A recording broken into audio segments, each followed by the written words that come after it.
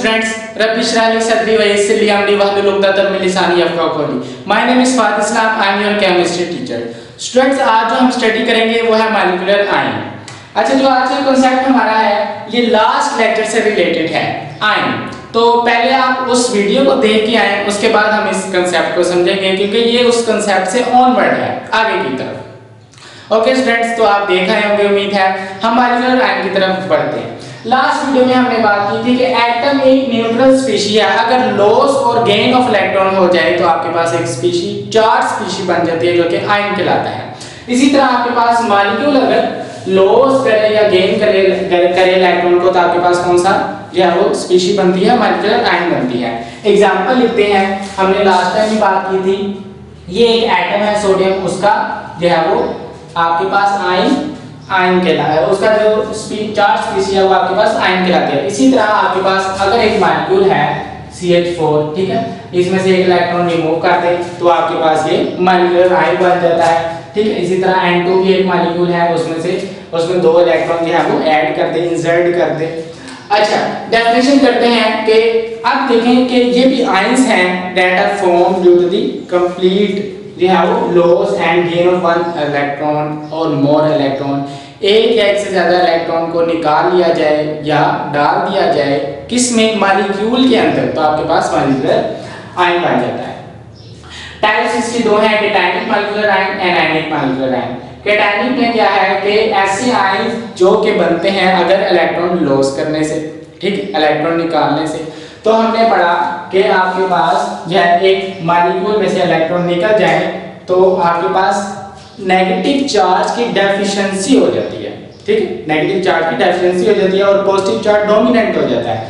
तो cationic molecular ion पे charge कौन सा होगा? चार्ज कौन सा होगा? Positive charge positive charge for example हम बात करते हैं just like we have O2 plus की ठीक है? N2 प्लस की NH3 प्लस ठीक है? ये आपके पास कैटायनिक मॉलिक्यूलर आयन है। इसी तरह आपके पास एनायनिक मॉलिक्यूलर आयन है, जो कि बनते हैं gain of electron by a molecule molecule के गेन से, ठीक है? तो आपके पास ये क्या कहलाते हैं? एनायनिक मॉलिक्यूलर आयन तो इस पे चार्ज कौन सा होगा? नेगेटिव क्योंकि स्टूडेंट्स आपके पास ये है इलेक्ट्रॉन हमने इंसर्ट किया है तो इलेक्ट्रॉन की जो तादाद है, वो ज़्यादा हो गई है, ठीक है? जिसकी वजह से आपके पास एनायनिक माइक्रोआयन में नेगेटिव चार्ज है, जबकि number of protons positive charge उतना ही है। एग्जांपल की अगर हम बात करें तो O2 2 माइनस O2 1 माइनस ठीक ये आपके पास क्या है? एनायनिक मॉलिक्यूलर आयन अच्छा यहाँ पे हम जो है ये बात भी स्टडी करते हैं कि ये जो है ना कैटायनिक मॉलिक्यूलर आयन ये आपके पास मोर अबंडेंट है मोर अबंडेंट यानी कि ज़्यादा पाए जाते हैं नेचर में। और ये आपके पास जो है, ये आपके पास लेस अबंडेंट है। अच्छा इसकी वजह क्या है? आप देखिए, इसको एक एग्जांपल से समझते हैं। कि आपके पास एक बैलून है, उसमें आपने एयर को इंसर्ट किया, ठीक है, और उसको स्ट्रेच कर लिया टाइट कर लिया बिल्कुल। अब उसमें मजीद हवा भरना मुश्किल बात है, हमारा सिस्टम कोलैप्स ना कर जाए। बजाय इसके कि उसमें से हवा निकाल ली जाए तो वो आसान बात है, ठीक है।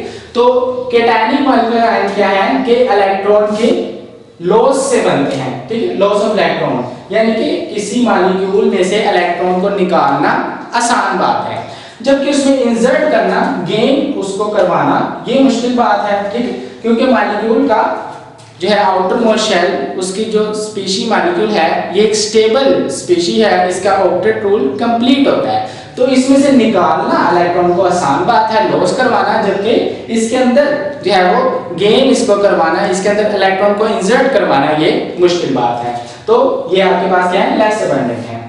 ठीक हो गया स्टूडेंट्स इसकी मिसाल हम इस तरह भी दे सकते हैं कि आपके पास एक गिलास है, जो है, उसमें पानी है, ठीक है? और उस पानी, वो फुल जो है, वो उसको आपने भर लिया उससे अब उसके अंदर मजीद पानी उंडेलना जो है, वो मुश्किल बात है, जबकि जो है, वो गिर जाएगा उसके वाल्स के ज़रिए से, लेकिन अगर उसमें से हम पानी जो है, निकाल लें तो वो आसान बात है। ओके फॉर्मेशन की अगर हम बात करें तो ये कैसे बनते हैं? तो यहाँ पर मैं जो है लाइन लिखता हूँ बाय पासिंग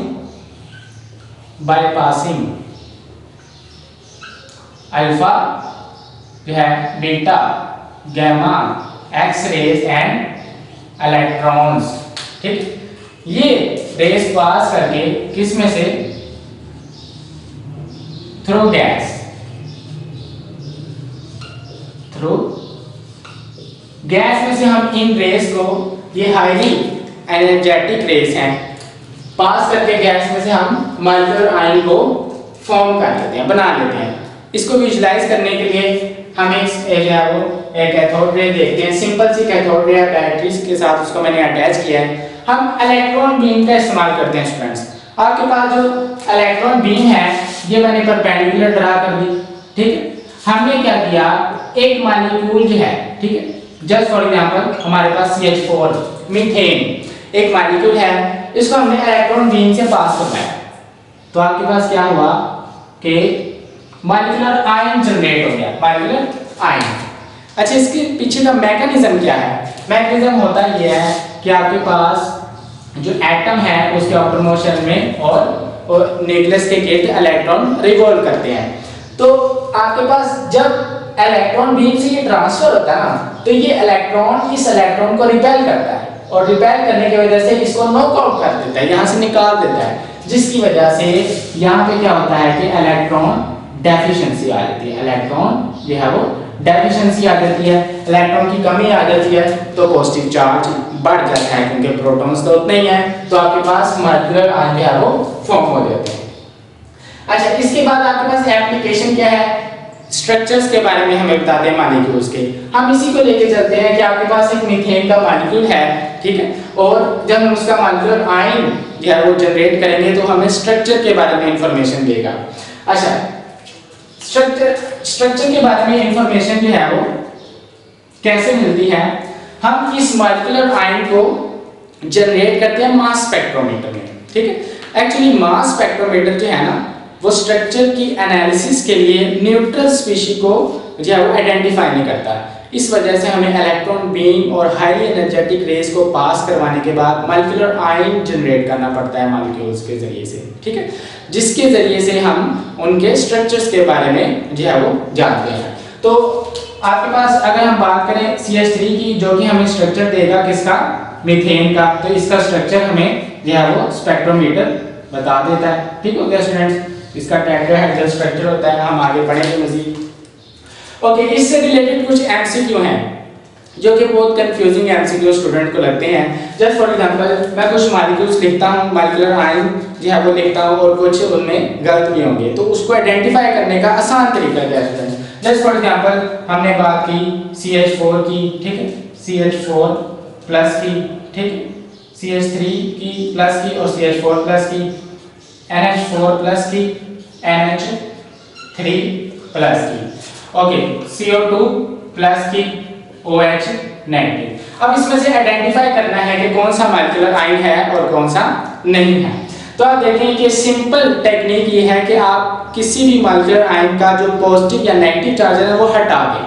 हटाने के बाद उसे देखें, आया कि वो मॉलिक्यूल है कि नहीं। तो अगर वो मॉलिक्यूल हुआ तो उसका आयन भी मॉलिक्यूलर आयन होगा, वगरना वो नहीं है। फॉर एग्ज़ाम्पल अगर मैं इसका जो है पॉजिटिव चार्ज हटाऊं तो हम जानते हैं कि CH3 is not a molecule क्योंकि इसमें कार्बन की वैलेंसी सेटिस्फाई नहीं है। जबकि ये क्या है, एक मॉलिक्यूल है तो ये मॉलिक्यूलर आयन होगा।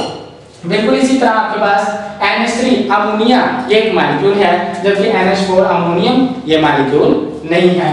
तो आपके पास जो है वो ये मॉलिक्यूल होगा।